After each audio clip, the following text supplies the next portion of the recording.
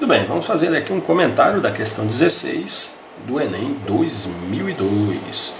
Segundo uma Organização Mundial de Estudos Ambientais, em 2025, duas de cada três pessoas viverão situações de carência de água, caso não haja mudança no padrão atual é, de consumo do produto.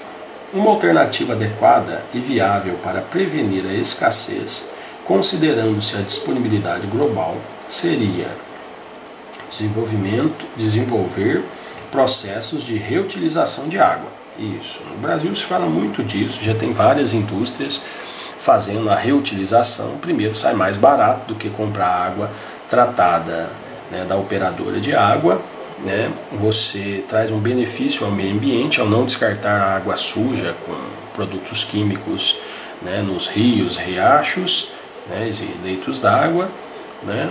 É, e é isso aí. Né? Algumas cidades, como a nossa, né? eu vivo na cidade aqui de Varginha, nós já temos aqui o tratamento do esgoto desde 98, 99, se não me falha a memória. Né? Depois desses outros 12 anos do último governo aí, não, se, não houve investimento nenhum, porque um, o pessoal que está aí não se preocupa muito com isso.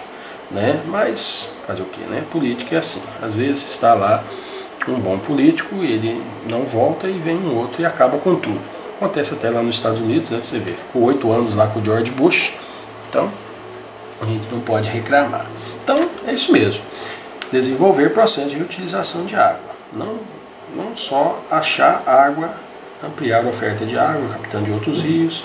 Não, não só isso, não é aumentar a captação, né? importar água doce de outros estados, nada disso é pegar aqui, já temos agora, e saber utilizar. Né? Então esse é o grande passo que devemos fazer. Vamos para a próxima.